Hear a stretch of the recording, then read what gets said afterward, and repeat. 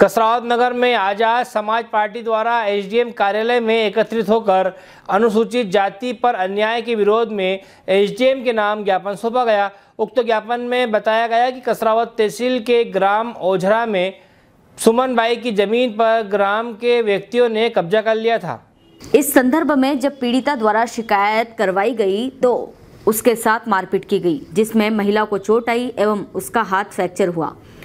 10 फरवरी को इस विषय में शिकायत दर्ज करवाई गई। लेकिन अभी तक इसमें कोई गिरफ्तारी नहीं हुई। उक्त ज्ञापन में आगे बताया गया कि कसरावत तहसील के ग्राम छोटी कसरावत में शिवरात्रि पर्व पर गाँव के सार्वजनिक मंदिर में उच्च जाति के लोगों द्वारा अनुसूचित जाति के लोगों को मंदिर में प्रवेश नहीं करने दिया। तथा उनके साथ मारपीट की गई थी। आज 21वीं सदी में भी अनुसूचित जाति को भेदभाव का सामना करना पड़ रहा है। सरकार से अनुरोध किया है कि जल्द से जल्द दोनों विषयों में कार्यवाही की जाए, जिससे उन्हें इंसाफ मिले। आगे भविष्य में ऐसी कोई घटना होने पर अंकुश लगाया जा सके। खरगोन से ब्यूरो की रिपोर्ट।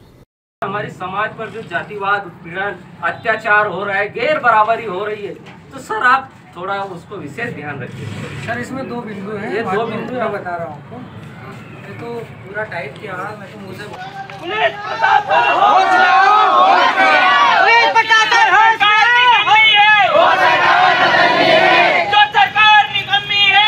और हमारे समाज पर अत्याचार हो रहे हैं। इसको गंभीरता से आपसे अनुरोध है कि लिया जाए।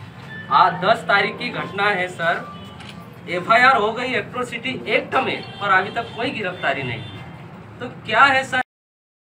और युवा को मारपीट कर मंदिर से बाहर निकाल दिया गया है। एफआईआर तो हो गई है उस घटना में लेकिन एफआईआर के साथ साथ जो बचे हैं, उन पे भी एफआईआर हो।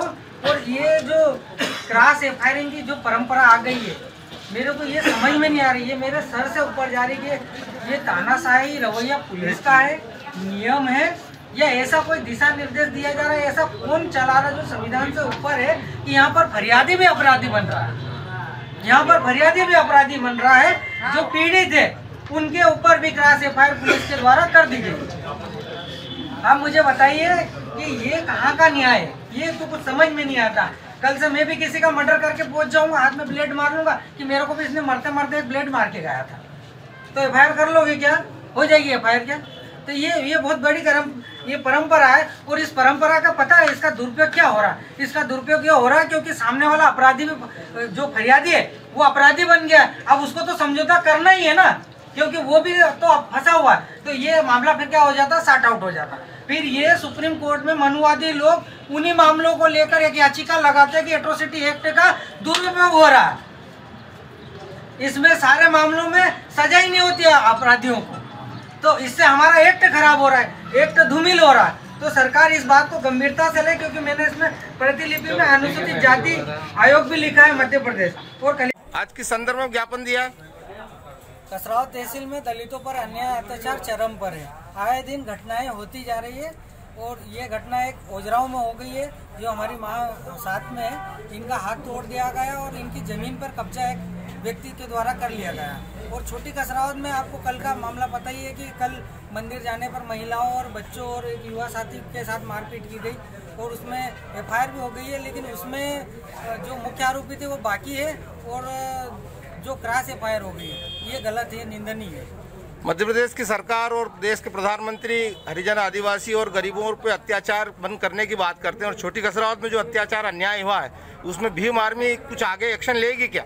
हम लोग अगर ये हमारी मांगे पूरी नहीं होती तो हम लोग दस दिन का टाइम है लोगों पास दस दिन के बाद में हम बहुत बड़ा आंदोलन करेंगे जिला स्तरीय। अभी जो गिरफ कायमी हुई उसमें गिरफ्तारी हुई क्या? नहीं किसी की गिरफ्तारी नहीं हुई। छोटी छोटी कसरावत में भी नहीं हुई और सबसे बड़ी बात तो ये इनको तो दस दिनों का दस तारीख से इनकी एफ़ हुई है। ये माँ साहब की जिनका हाथ तोड़ा गया है आज तक कोई गिरफ्तारी नहीं हुई। क्या शासन प्रशासन से क्या मांग है आपकी? मांग जो लिखित में है कि इनकी गिरफ्तारी की जाए और जो जो जो छोटी कसरावत में जो मुख्य आरोपी बच गए उन पे भी एफआईआर की जाए और जो ये क्लास एफ़ आई करिए उसको खारिज किया जाए। प्रशासन ने आपको कुछ समय दिया है क्या? प्रशासन से अभी एसडीएम साहब टीएल बैठक में है तो अभी तहसीलदार साहब ने बताया कि मैं बात करके बताऊँगा। एसपी साहब से इस बारे में कुछ चर्चा हुई आपकी? एसपी साहब से हो गई हुई है चर्चा। वो साहब बोल रहे हैं कि जो भी उचित कार्रवाई होगी हम ज़रूर जल्द से जल्द पूरा करेंगे। हेलो फ्रेंड्स आप देख रहे हैं हमारा channel S W twenty four news हमारे सारे वीडियो सबसे पहले देखने के लिए आप हमारे चैनल को सब्सक्राइब करें और पास में लगे बेल आइकन को दबाना बिल्कुल भी ना भूलें।